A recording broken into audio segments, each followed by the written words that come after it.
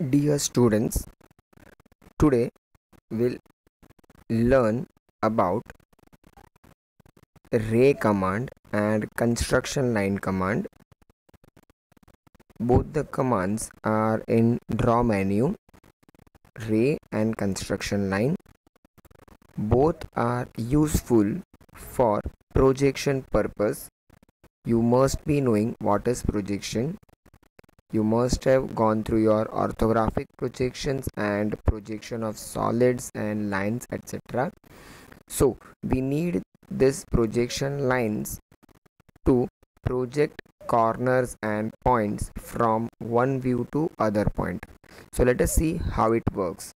Draw ray then. It asks for specify first point. So or a start point. I'm giving a start point. My ortho is off. So let me keep my ortho on. Now it will draw infinite line but either horizontal or vertical. So in whichever direction you want to draw your projection line drag your cursor in that direction and have one more click that's it. It will draw an infinite line in that particular direction. You may wonder that why do we need to draw infinite line for a projection purpose?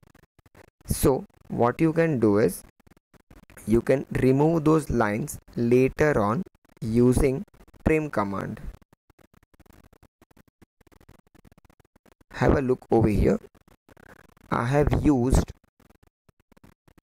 ray command to project my points. But after completing the projection I have removed extra lines using trim command.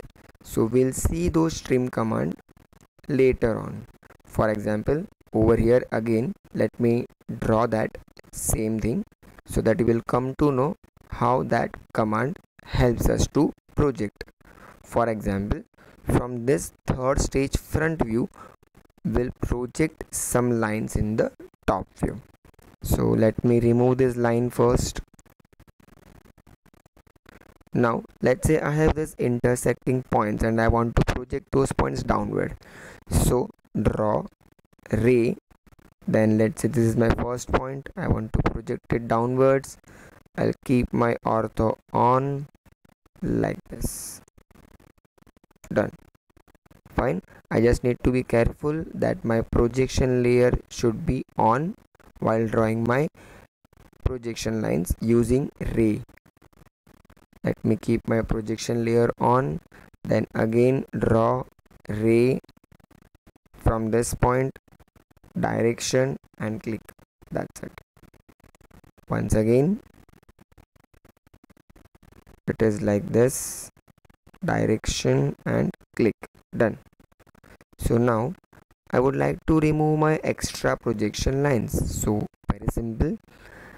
We can use trim command and we can trim all the extra lines at single stretch. How to use trim command? We'll see later on. But right now let us see how to use this ray command. This way you can draw your projection lines very easily. Your next command is construction line. Now what is the difference between the two? That is ray and uh, construction line. Both are almost similar. Both are used for projection purpose. Both are drawn in similar way but ray draws an infinite line in infinite line in only one direction whereas construction line will draw infinite line in both the direction. Like this. Give the command of construction line from draw menu asking for a point. Either you can draw horizontal or you can draw vertical as per your requirement give the direction and click in that particular direction. That's it. It will draw your infinite lines in both the direction.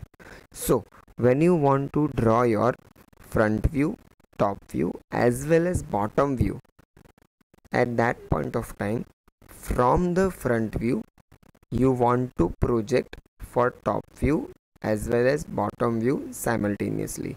So at that point of time this construction line will be helpful. So as far as our engineering drawing syllabus is concerned for first year engineering we are